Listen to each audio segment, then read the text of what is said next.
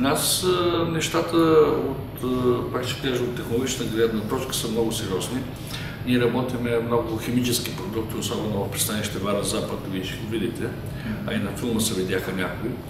Така че се стараем да търсим нови технологии, нови машини за обновяване на технологиите, за да може да решаваме екологичните проблеми, защото без обновяване на технологиите те не могат да бъдат решени.